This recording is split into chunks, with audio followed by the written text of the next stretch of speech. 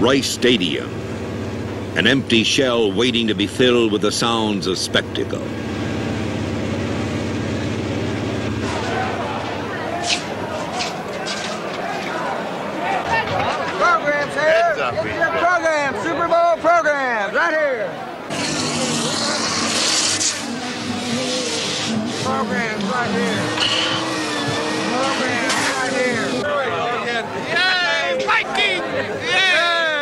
We eat dolphins for lunch and supper and dinner, all at one time. Purple power!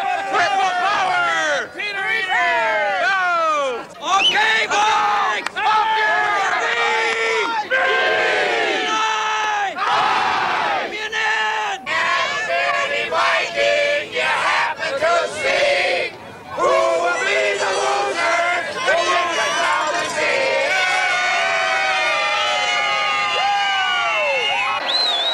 There are times when an athletic event transcends the boundaries of sport and becomes embedded in a nation's consciousness. In eight seasons, the Super Bowl has become such an event. The Minnesota Vikings had come this way before, only to suffer a shocking loss to the underdog Kansas City Chiefs in Super Bowl IV. Now, four years later, they stood on the threshold again, but this time they were the underdogs. In those same four years, the Miami Dolphins had risen from the dregs of the sport to a world championship. Today, they would defend that championship amid the celebration of Super Bowl VIII.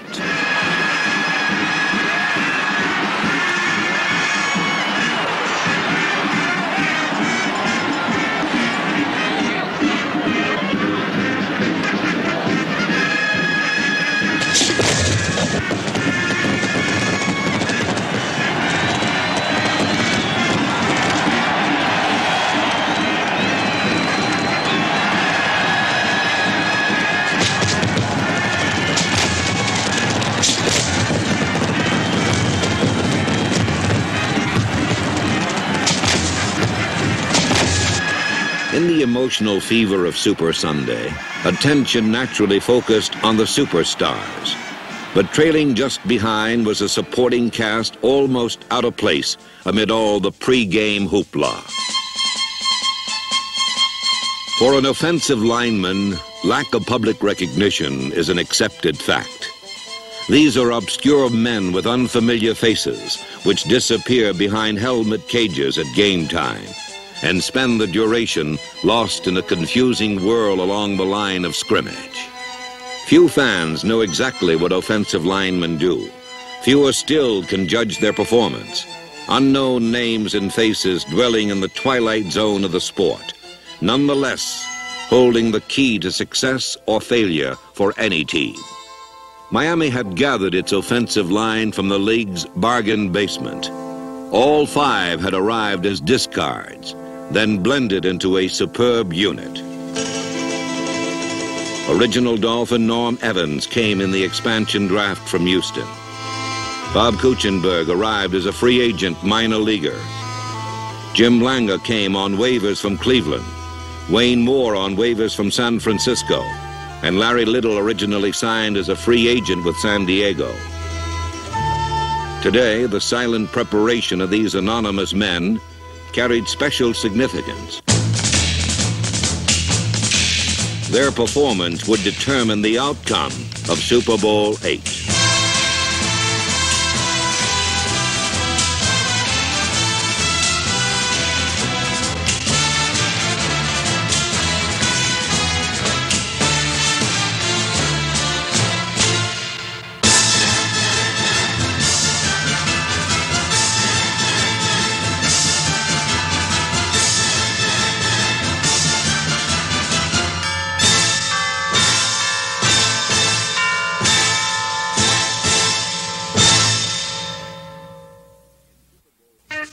In Super Bowl VIII, the Miami Dolphins would try to duplicate Green Bay's back-to-back world championships. But Dolphin coach Don Shula was more concerned with the task at hand. In his own words, Shula describes his plan of attack. Going into Super Bowl eight against the Minnesota Vikings, we felt one of the critical areas of the ball game would be the ability of our offensive line to handle Minnesota's great defensive line, and they predicate everything on coming off the ball as fast as they possibly can. Of course, they have tremendous athletes. Page is probably the best defensive tackle in football. We felt that uh, going into the ball game that we're going to be able to take advantage of this tremendous quickness of an Alan Page by cross blocking. On our cross block, our left tackle, Wayne Moore, comes down hard on Alan Page. If he's slanting to the inside, he takes himself out of the play. If he's slanting to the outside, he's coming right into the area that Wayne Moore is blocking down, and this nullifies his outside slant.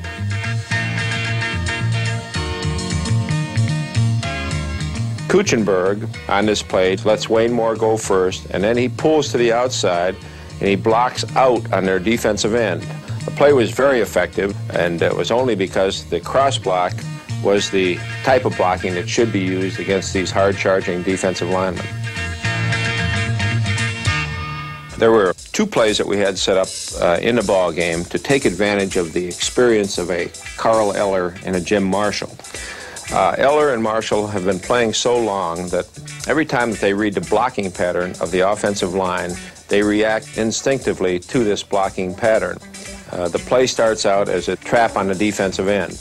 And when the defensive end reads and reacts tough to the inside, then the ball carrier, instead of cutting inside, continues to the outside. And we made everything look like it was the inside trap play. When Eller closed to the inside, then we still were able to get the ball outside to Mercury Morris, and it was a very effective play. Another way that we were able to make the defensive lines hesitate was misdirection.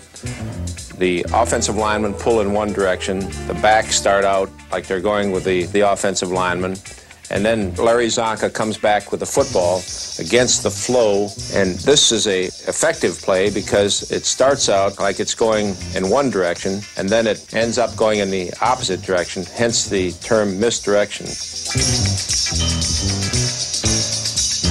The Dolphins had drawn first blood with a drive that approached perfection and set the tenor of what was to follow. The offensive line had been brilliant as they outmaneuvered, outflanked, outthought, and outright handled the feared purple people. Mixing cross blocks to take advantage of Page's quickness, negative influence traps to get outside Eller and Marshall, and misdirection. Miami swept 62 yards in 10 plays for a 7-0 lead. In the crucial opening confrontation, Miami's offensive line had met the foe and established a decided advantage. Now it was Minnesota's turn. The Vikings' offensive line knew they had to retaliate quickly, and they fired out with purpose.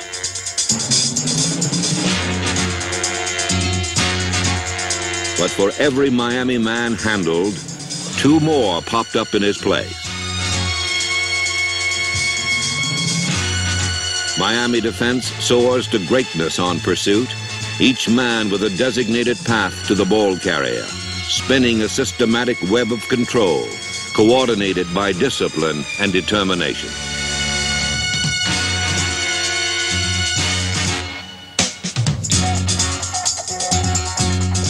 The many-headed monster of Miami pursuit was especially frustrating to Rookie of the Year Chuck Foreman, number 44.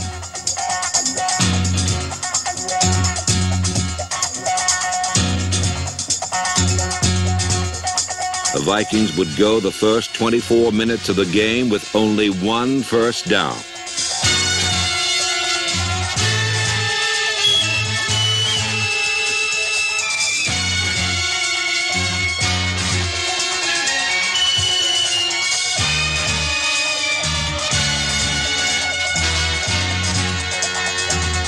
Miami buried Minnesota with pursuit and then turned the ball over to Bob Griese. Much pre-game speculation surrounded Paul Warfield's pulled hamstring, so Griese sent number 42 in motion, spreading the Minnesota secondary. With the flow going outside, Griese dropped straight back, then looked over the middle and found tight end Jim Mandich. Having already established the running game, Jim Langer and Bob Kuechenberg switched to pass protection, double teaming the furious rush of Alan Page, giving Griese time to complete four for four in the first quarter.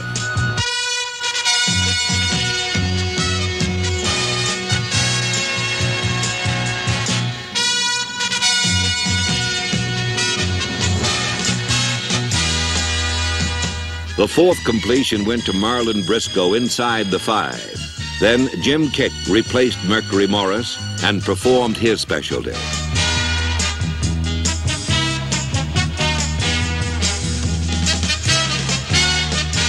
With two plunges, Kiick took the ball over for Miami's second touchdown.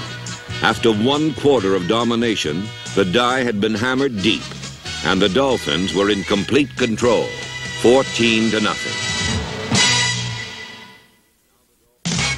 Now the Dolphin defense turned to its 53.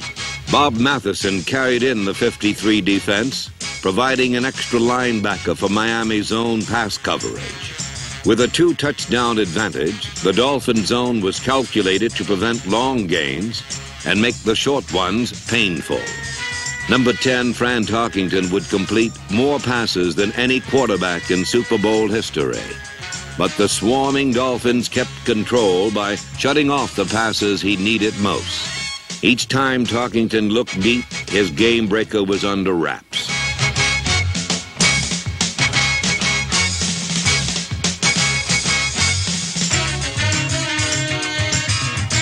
Number 42, John Gilliam, drew a stifling Dolphin double team. And finally, Tarkenton ran out of time.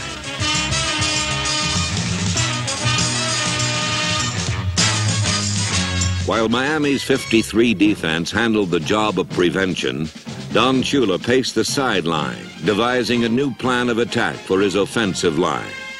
Early in the game, our cross block was effective against the hard charging Alan Page and Jim Marshall. You could see the concern on the part of the Minnesota Vikings football team when they felt that they were being hurt, yet they knew that they were taking their own responsibilities. Then they started to be more cautious and this restrained them from charging as hard as they had been charging across the line of scrimmage. When we sensed this offensively, we decided to change our attack pattern to a more straight-on, man-on-man blocking pattern. And when the Minnesota linemen now started to wait to see what we were going to do, whether we were going to cross block or whether we were going to use negative influence and try to get the ball outside, then we were able to get on them in a hurry with our straight blocking, move them off the line of scrimmage, and again enable Csonka to find some running room.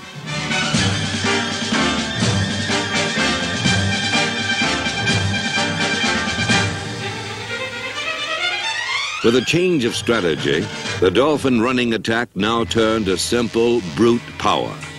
Larry Csonka and his escort, a perfect blend of back and line man-on-man blocking, and man-on-man ball carrying.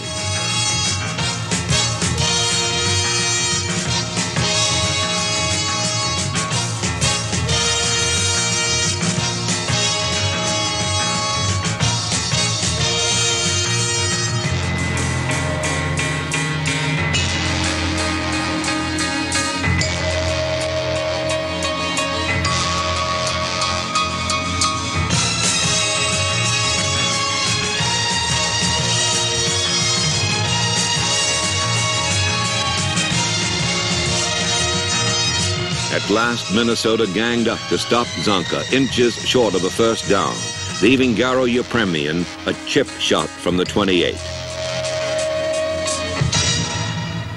Csonka and his blockers had padded the lead to 17 nothing, and with time running out in the first half, the Minnesota offensive line had only one way to go.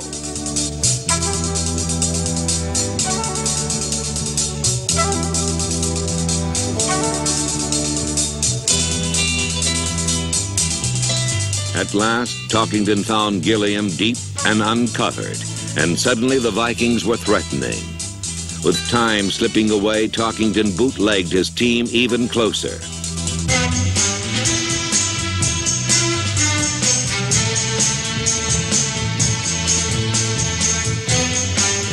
With fourth down at the Dolphin six, Tarkenton came up three inches short, and the Viking bench sent in word to go for it.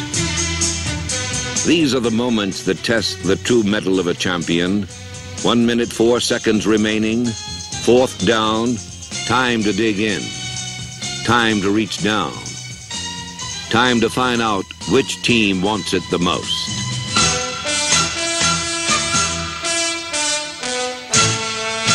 Out of the pile rose the Miami Dolphins victorious. A replay shows why. For an instant, the Vikings had split the Dolphin defensive line, and number 62, Ed White, was leading Oscar Reed to the end zone. But number 85, Nick Buoniconti, closed quickly to meet Reed at the line of scrimmage, jarring the ball loose in first down territory. Miami's Jake Scott decided the issue with a diving recovery. Once again, a key confrontation had fallen to Miami. Minnesota's sudden uprising had yielded not one point, and the half ended with the Vikings discouraged and down 17 nothing.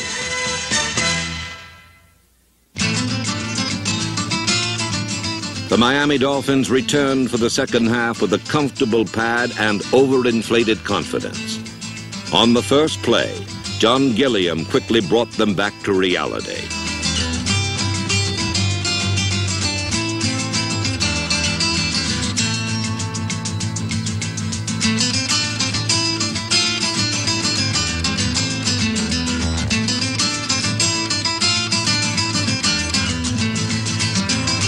Gilliam flashed for 65 yards, but back upfield, a clipping penalty cost the Vikings 45 yards of field position.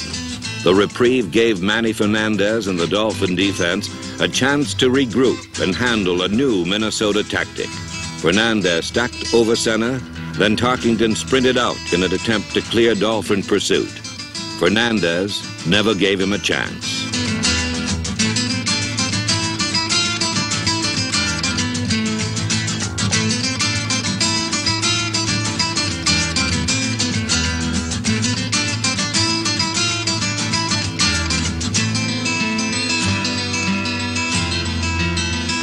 The Miami defense picked up where it had left off, Paul Warfield loosened up on the sideline, waiting to add another dimension to the Dolphin attack. Warfield had limped through the first half, acting as a decoy, protecting a pulled hamstring, waiting for just the right moment to cut loose. Now, on Miami's first possession of the second half, Don Shula called his signal, and Warfield exploded upfield.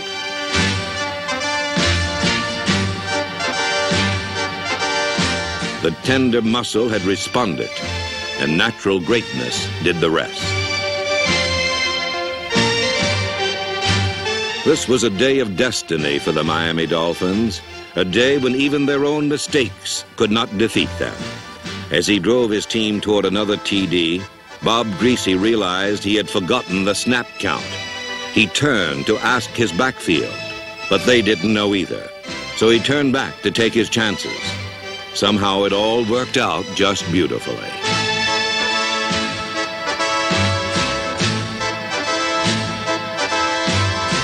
Larry Csonka blasted in and the broken play gave Miami an awesome 24 to nothing advantage.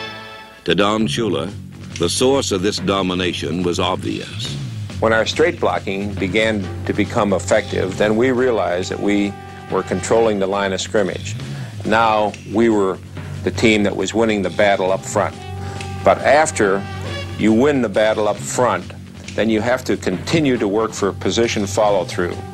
There are some tremendous shots of Bob Kuechenberg keeping his position on Alan Page as the ball moves to the outside. This is what we call position follow through.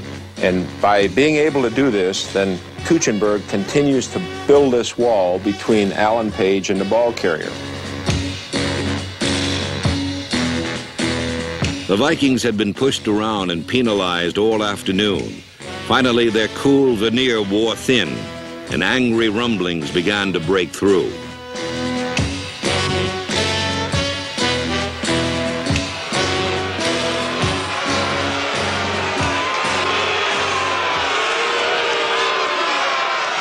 Down on the sidelines, the game is more intense, more real. Now, although hopelessly behind, the aroused Vikings would strike back in anger at the source of all their frustrations. Right! Split right! Hey!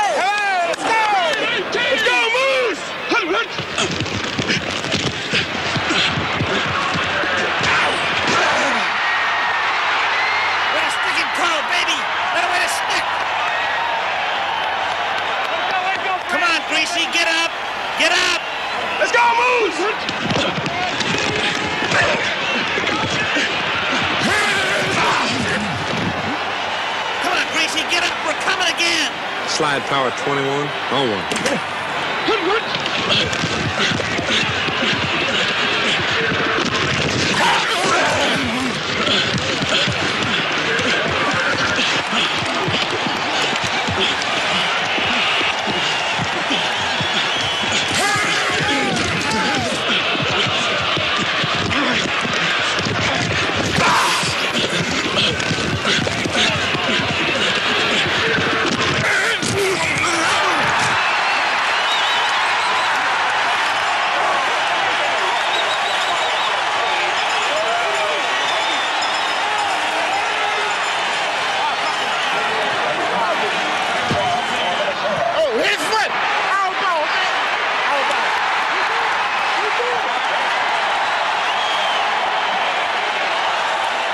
Fittingly, Minnesota's last flurry ended in frustration as an offside penalty negated a successful onside kick. At last, the joy of Super Sunday had all drained away. The Minnesota Vikings had been decisively defeated, but it was more a result of Miami brilliance than their own failure. Minnesota had simply met the irresistible force and had been crushed. Defensive end Carl Eller summed it up best when he said, I have never seen a more dominating team than the Miami Dolphins. All afternoon, I had the feeling that the outcome had already been decreed on high before we even took the field. It seemed I could hear Scottish bagpipes in the distance, keeping time as they came after us, wave after wave, gaining ground so easily they seemed to be floating in suspended animation.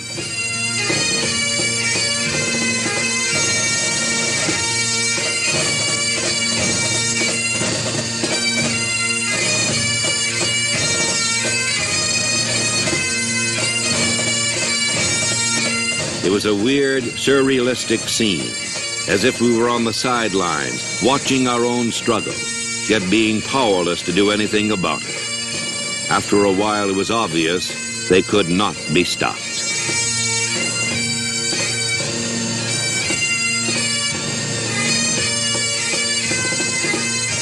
For Carl Eller and the Minnesota Vikings, Super Bowl eight was a strange nightmare.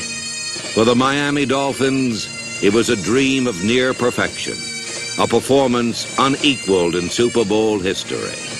As time ran out, accolades rained down on the Miami superstars. Larry Csonka had convinced the nation of his greatness with a Super Bowl record 145 yards rushing and was named Player of the Game. But there were others who shared at least equally in his accomplishment. Five anonymous men had turned in a performance of artistry and rare beauty that few who watched the game were even aware of. Yet their coach and teammates knew in the end the game ball was in appropriate hands as the Miami Dolphins, one and all, earned the right to be called world champions.